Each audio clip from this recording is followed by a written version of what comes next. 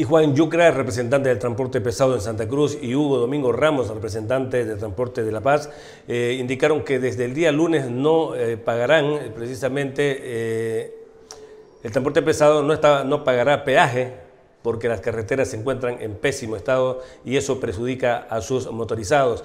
Mientras no tengan respuesta de la ABC para el arreglo de caminos, ellos continuarán con sus medidas.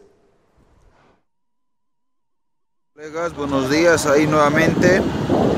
Nuevamente tuvimos un momento por un periodo a los camiones tanto como de bajada como de subida. Ahí nuevamente ya están pasando sin pagar peaje. Acá unidades. Es así lo que les podemos reportar colegas desde acá, desde el peaje de Aguirre. Como pueden evidenciar ahí en los videos, tenemos una masiva de fila de camiones que está en apoyo por el mal estado de las carreteras, colegas.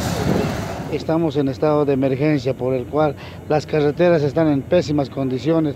Nosotros hace dos años ya venimos reclamando estas carreteras eh, a nivel nacional están en pésimas condiciones. Entonces, en ese sentido, el gobierno no está dando atención, más al contrario. Hace, el año pasado, eh, mi persona por reclamar han, he sido detenido, me han metido preso. Hoy por hoy, la carretera está en peor situación, no, no está como en esa época, ¿no? Entonces eso quiere decir que ha colapsado, los compañeros ya no están pagando sus peajes y bueno, hoy día hemos tenido un ampliado con diferentes sectores del departamento de...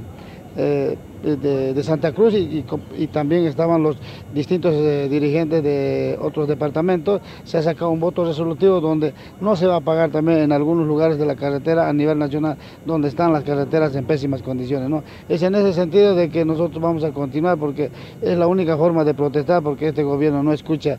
Eh, sabemos que la carretera es eh, la carretera del progreso, sabemos que el transporte pesado utiliza la carretera, no está dando atención. Entonces, en ese sentido vamos a seguir nosotros en estado de por lo menos que haya la intención de que se va a arreglar, porque ahorita están manejando con sus carretillas, tapando agujeritos, eso no es solución. Queremos de que nosotros se dé una solución porque nosotros pagamos el peaje y el peaje pagamos alto y no dónde se va esa plata, pues se, supone que esa plata es, para eh, estar eh, arreglando, refaccionando las carreteras, pero sin embargo ellos esperan que se termine de destruir la carretera y se cien y empiezan.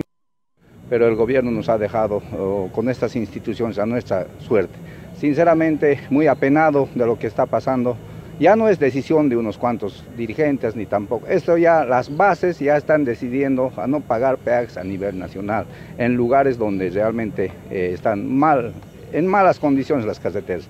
Un ejemplo, en la ciudad de La Paz, de Patacamaya, Tambo Quemado, hace tres años hemos tenido compromisos de Vías Bolivia, ABC, eh, justamente con el ministro de Obras Públicas, de que iban a desarrollar esa capa asfáltica. Mira que es un camino internacional donde entran mercaderías de importación y exportación nada de atención para el transporte y estamos cansados. Nuestro peaje, un ejemplo, de La Paz a Santa Cruz son 600 bolivianos por camión. Imagínense la cantidad de camión que entran eh, y lo recaudado. Quisiera que nos expliquen dónde va esa plata, si no es para el arreglo de las carreteras, para el mantenimiento de las carreteras. Yo actualmente he llegado con mi camión totalmente molido. Esa carretera no es carretera. se debe no, no, la policía ya sabe, también hemos hecho muchos uh, acuerdos con diferentes instituciones. La policía, por ejemplo, el, eh, Ministerio de Gobierno nos han prometido seguridad en las carreteras. ¿Qué seguridad en las carreteras tenemos hasta el día de hoy? Las